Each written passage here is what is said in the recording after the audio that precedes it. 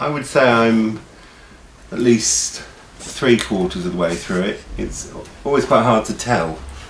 Um, I know that uh, this is painted, this is painted, most of it's painted, other than the skin and the hair. Um, but once I've finished finished it in that sense, I then go back and start adding kind of light effects and um, thinking about the spatial relationships and how they, they would be affected by the tone and atmospherics and all those sorts of things. I've, I've really enjoyed doing this so far. Um, it's totally uh, deviated in many ways from the original image. There's compositional focus and there's psychological focus within an image, um, which is another aspect of the composition alongside the aesthetics. And um, it's important to try and balance the areas of interest.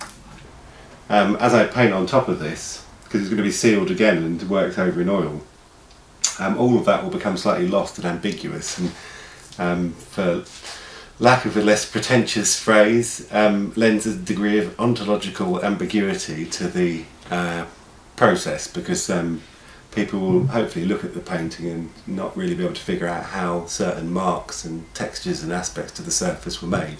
Just having a quick look at the um, painting in uh, a mirror just to get a sense of how it's looking. Um, I mean, you sort of lose objectivity after a while when you've been painting something for several weeks, and this is a way of viewing it slightly afresh.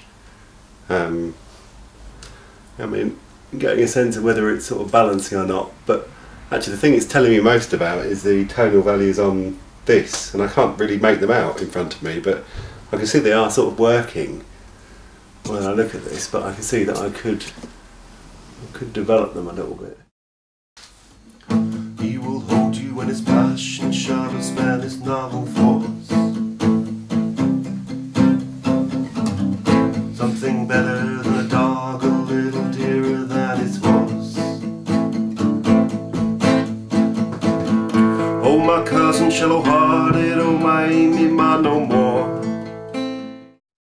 I don't see Will as someone who's there's here today, gone tomorrow. Um, we will see Will on the international stage. When you have an exhibition, Will, who gets the choice of where things go? Is it is it you normally or the gallery?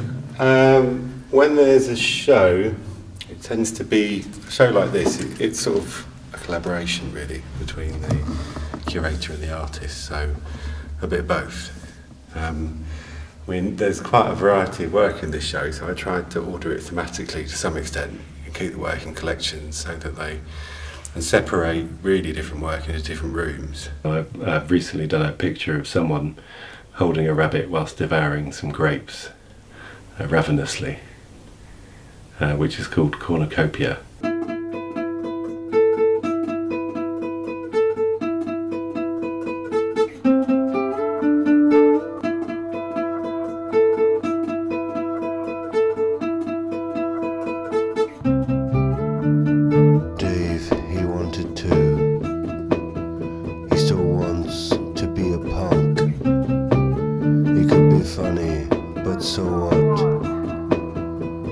Ernie's for the broken heart. He didn't learn to love. He learned to love when he was drunk. He learned to listen. He learned to lie. He learned to love when he was drunk.